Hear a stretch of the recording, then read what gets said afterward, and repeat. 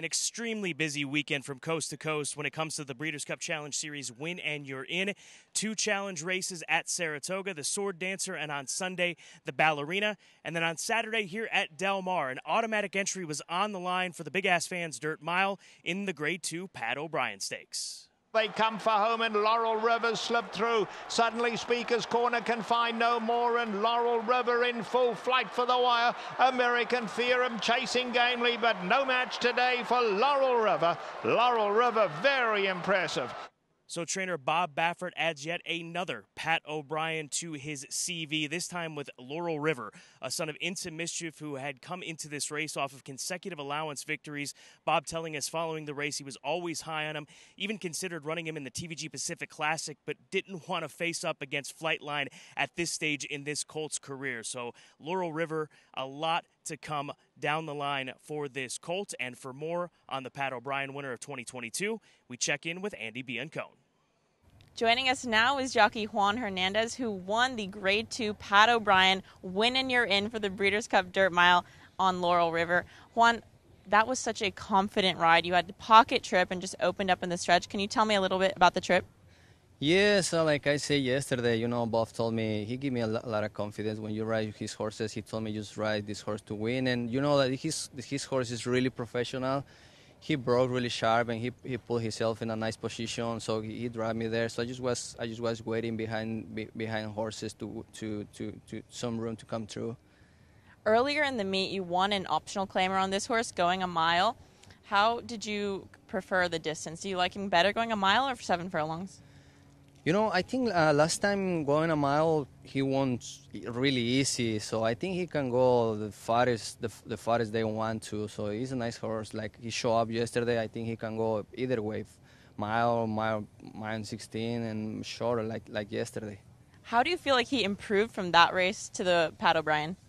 You know, I think he, he improved a lot because, like I said, last time I didn't, I didn't, I didn't ask him too much. But yesterday, around the around the turn, when when when I find my, my space to come through, I asked him, and as soon as I asked him, he picked it up really well, and he he come through to the hole. And I mean, after that, I just was I just was smooching him a little bit. I mean, I didn't I didn't I didn't work too hard on him to to win that race, but you know, he's a nice horse. He was doing everything by himself. The Breeders' Cup will be hosted at Keeneland this year. How excited are you to be there? Yes, I'm really excited. You know, I, you know, you always want to be riding on that big races, and right now, I mean, right now I'm here, and and I'm thanks to Bob for and the owners for the opportunity. If you know, and just try to to to to ride in good races here. Thank you so much, Juan. Congratulations on your big win, and looking forward to seeing you and Laurel River at the Breeders' Cup. All right, thank you. The Sword Dancer, one of two automatic entries this past weekend on the line in the Breeders' Cup Challenge Series win and you're in at Saratoga. This for the Longines Breeders' Cup turf. And Gufo was looking to defend his title. And now the field is in the stretch in the Resorts World Casino Sword Dancer. And here is Mira Mission now to take over from Tribhuvan. Gufo is putting in a late run. On the outside is Soldier Rising. Here comes Gufo up to challenge Mira Mission for the lead. And Gufo has got it. Gufo by a half length.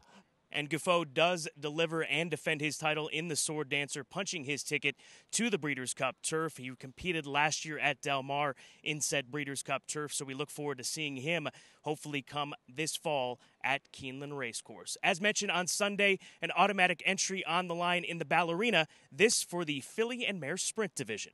Travel Column with Goodnight Olive on the outside. And Goodnight Olive has now taken the lead. Travel Column is back running in second. Then Caramel Swirl. Not today for CC. They're at the 16th pole. It is Goodnight Olive by three lengths. Caramel Swirl in second. Goodnight Olive wins the Grade 1 Ballerina.